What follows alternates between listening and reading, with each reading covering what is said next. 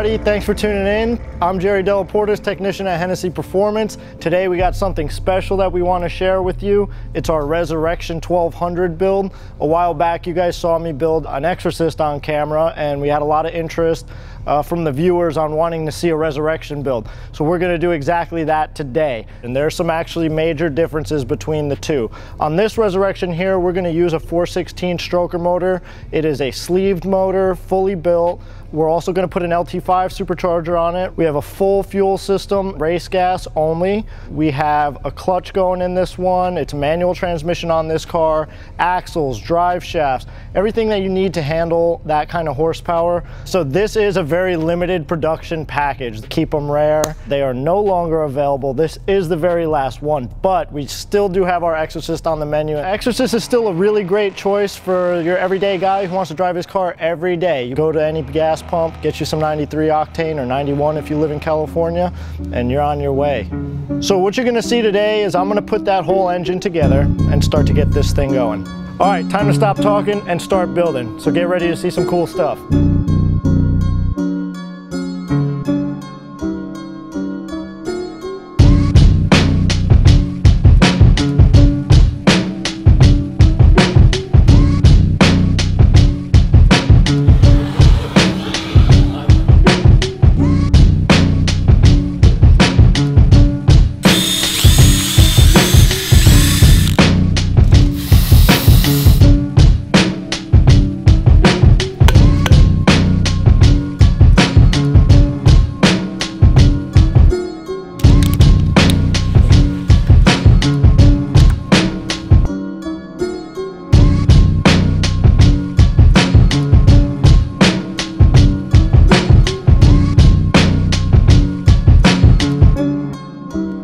Got the motor all together as you can see. Got the headers bolted on just to look pretty. They might come back off and then go back on. Uh, but for the most part, our long block is wrapped up, everything's covered, everything's torqued and marked, and I'm getting ready to move on to the next step. I am going to be installing this triple disc clutch. So this clutch is rated for the torque range that we're gonna be in. We're making some good progress, so stay tuned.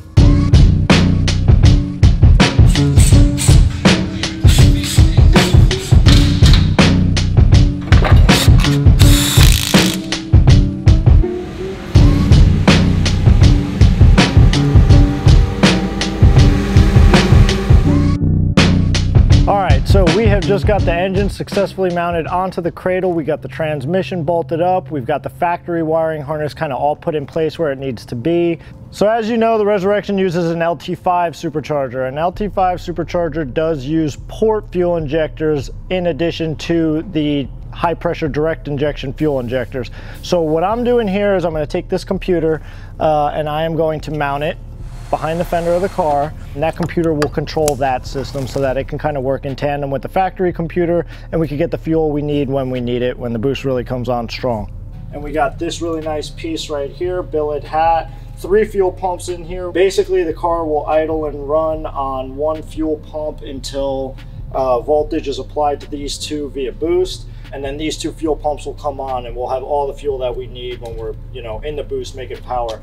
All the wiring from the fuel pumps goes up to a common box that's a relay box.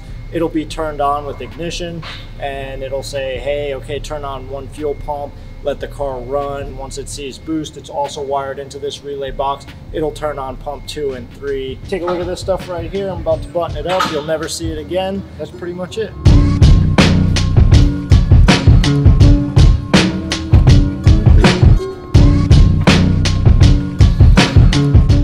little dance.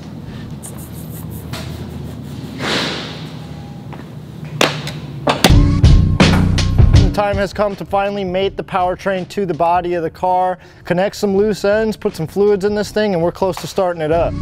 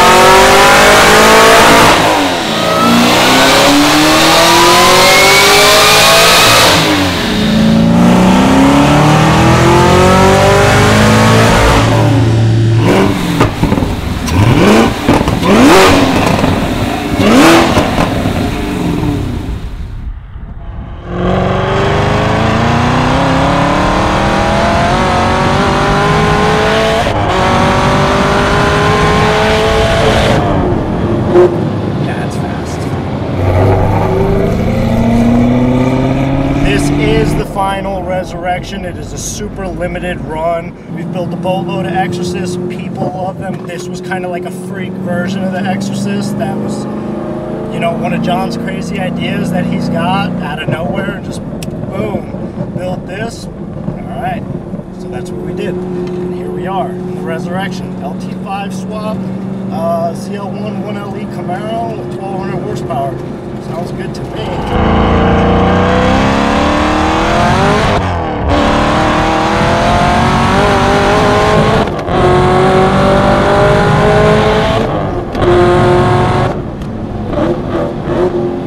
Yeah, it's fast. Wow. Okay, runs real good. That's for sure. It's my first time driving this car, so I spent spent a while building it, um, taking my time, making sure everything looks just as pretty as it should, and the rest of the car looks. This was a brand new car. We started out with, right now we got 132 miles on it. Um, so literally a brand new car with double the horsepower. That sounds like a cool customer to me.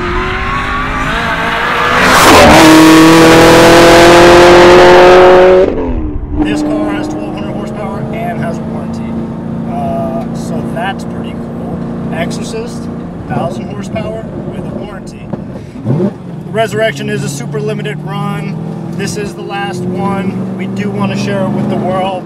Um, even though there's no more of these, we are still making the Exorcist. The Exorcist is a daily driver.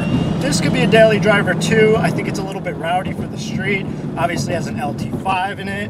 Um, has all the stuff that goes with it, a lot more parts, um, drivetrain parts, clutch, you know, all that that goes with higher powered cars. But the Exorcist is something you get in, you drive every day, um, have a great time with, race people, have fun, all as well. I'm just focused on testing this car, driving it.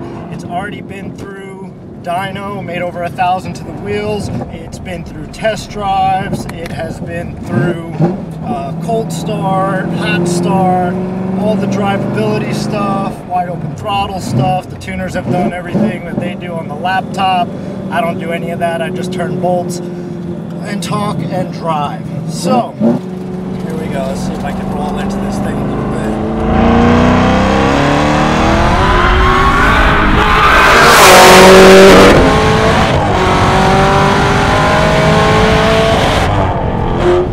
Alright, yeah.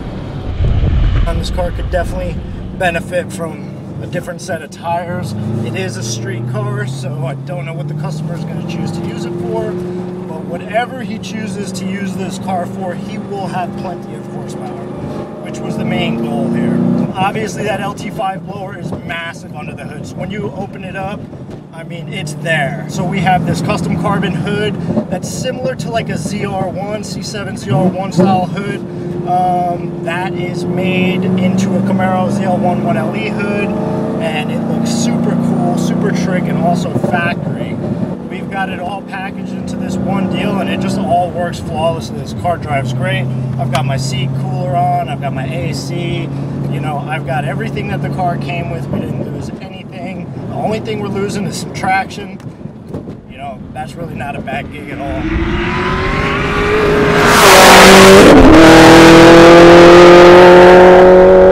Pleasure to build this car. Honored to build the last one. Um, super stoked to be involved with this project and the resurrection and the whole idea of it. I just love Camaros. I love American horsepower. I love Chevrolets.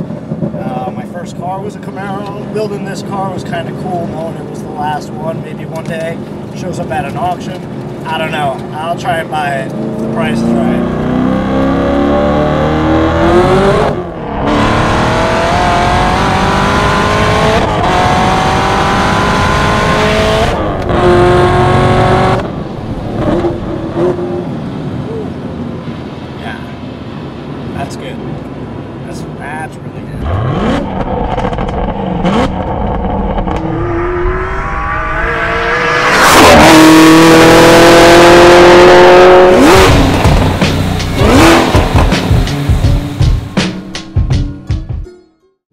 All right, guys, that's a wrap.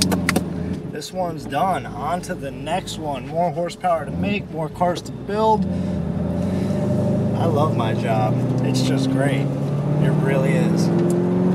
I thoroughly enjoy it. My God.